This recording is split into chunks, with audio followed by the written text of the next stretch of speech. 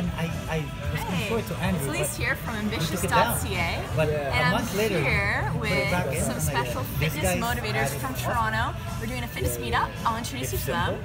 We have Ian, Hey guys. All Core Fitness, and Eman from eMotivates, and GTA Solutions. And Fitness Solutions. Fitness Solutions. GTA Fitness Solutions. There you There you go.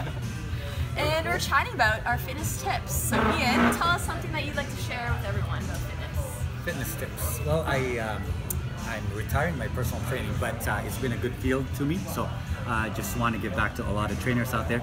And I think what they should be doing a lot of is uh, networking, right? You you uh, keep on growing your network, but most importantly, ha- have a mentor, right? It's just a straighter line to success.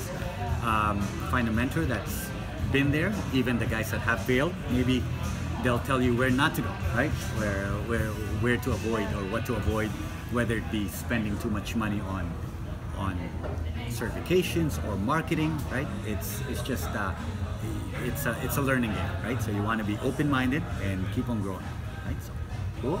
Great advice. Eman? Cool. Um, I guess we're gonna give tips to trainers, then um, my my suggestion definitely I would add on to Ian's um, find a mentor is and add on to the being the openness part is really accepting feedback. I think sometimes the hardest thing to do is when people are actually giving you the real is to take the real and actually swallow it, drop the ego.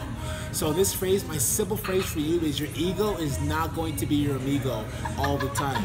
So really remember, guys, that you want to be open, be hungry, but I'm gonna call it Triple H. So if you guys are wrestling fans and love Triple H, my Triple H is this: be honest with yourself and others, be humble, okay, and stay hungry. Like the lion in the jungle, stay hungry.